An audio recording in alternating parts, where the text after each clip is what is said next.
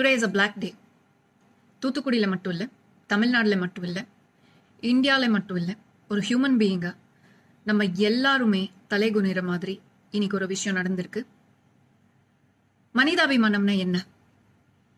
எனக்கு தெரியாது. இன்னைக்கு மனிதாபிமானத்துக்கு ஒரு அர்த்தமே இல்லாத அளவுக்கு ஒரு சம்பவம் நடந்திருக்கு.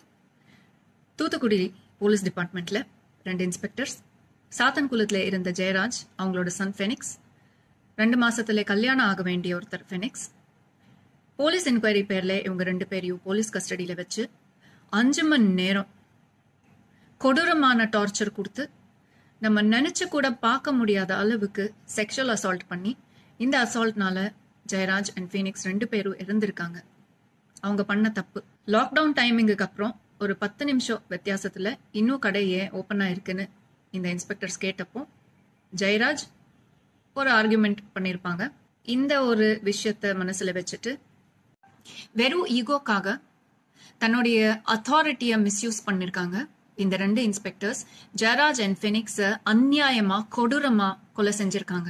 Honourable CM of Tamil Nadu sir உங்ககிட்ட நான் ஒரே ஒரு கேள்வி தான் கேட்கணும்.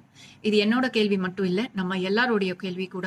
பாதிக்கப்பட்ட ஃபேமிலி ஜெயராஜ் அண்ட் ஃபெனிக்ஸ் ஃபேமிலிக்கு நீங்க பத்து லட்சம் அப்புறம் கவர்மெண்ட் ஜாப் அனௌன்ஸ் பண்ணிருக்கீங்க. கொலை செஞ்ச ட்வின் மர்டர்ஸ் செஞ்ச இன்ஸ்பெக்டர்ஸ்க்கு சஸ்பென்ஷன் ஆர்டர் கொடுத்துருக்கீங்க.